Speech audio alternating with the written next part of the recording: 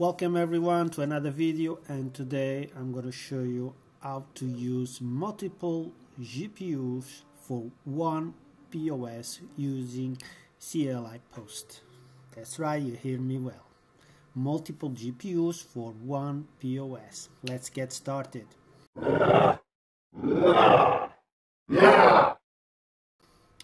Okay, let's do some preparation first. Let's start with um, uh, downloading the CLI software you can go to github. I'll leave link on description.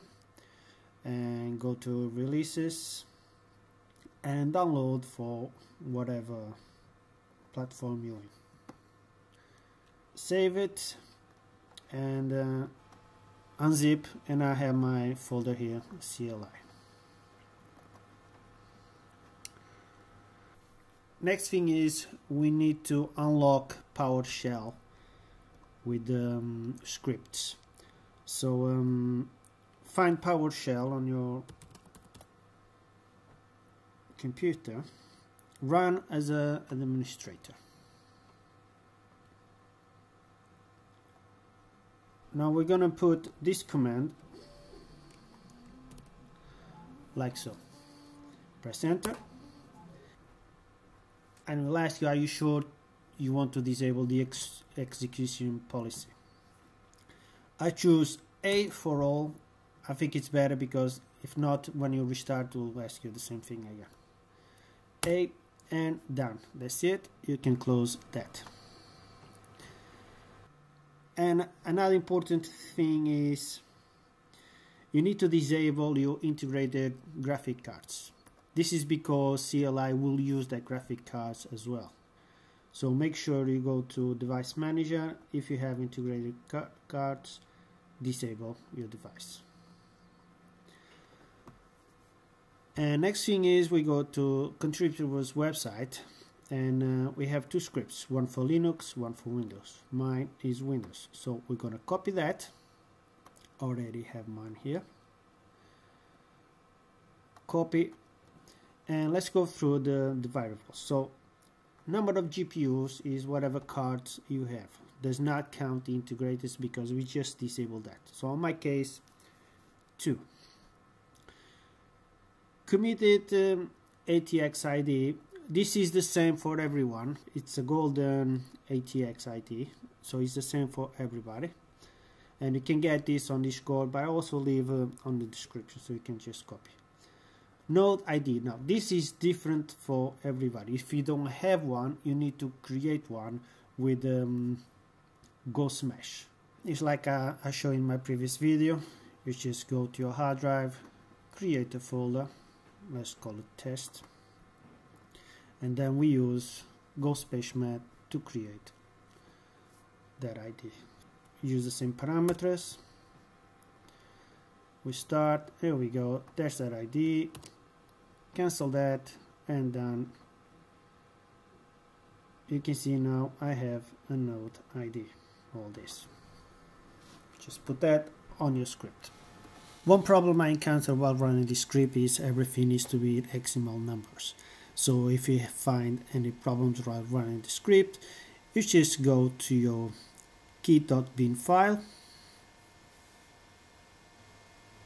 And if you have notepad you just need to select the last 64 digits.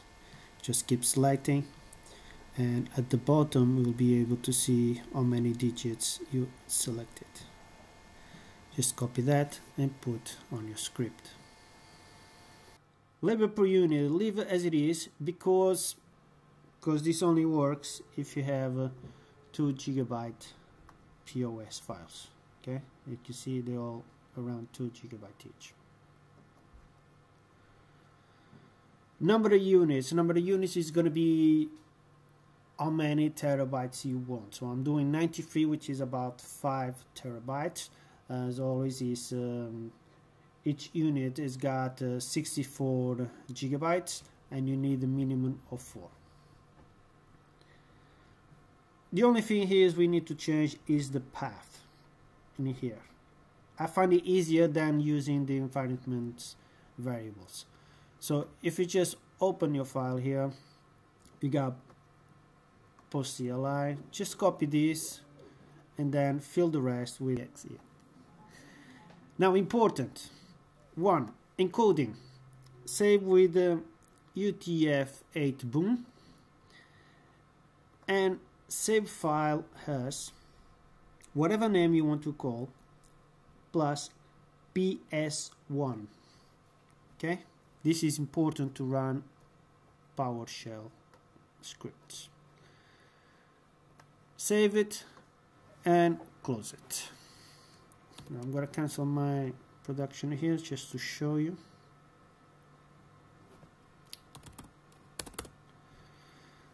To start the script we just run PowerShell add file and point to the file you just create. Mine is mine.ps1 start.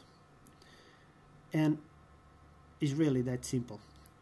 Once you know what you're doing. So as you can see here uh, here we go.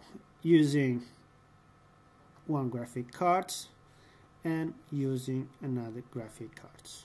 Will also tell you all the details you need like the the folder just created.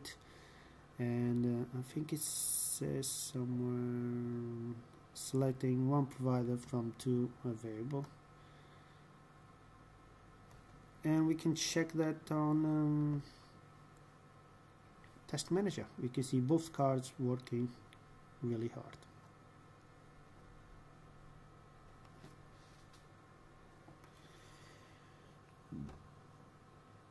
and uh, as you go your post file will be created.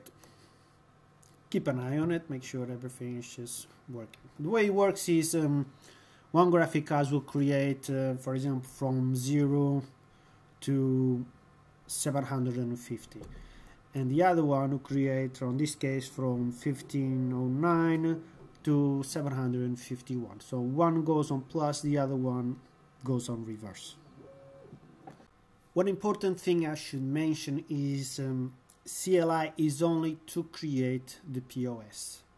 After the creation is finished, you still need to run go-spacemesh to create the proof and start mining. Do not forget that. As always, if you have any doubts, pop into Discord. There's a whole community there, guys. And um, if you have any questions, leave me a, a comment and I'll see you next time.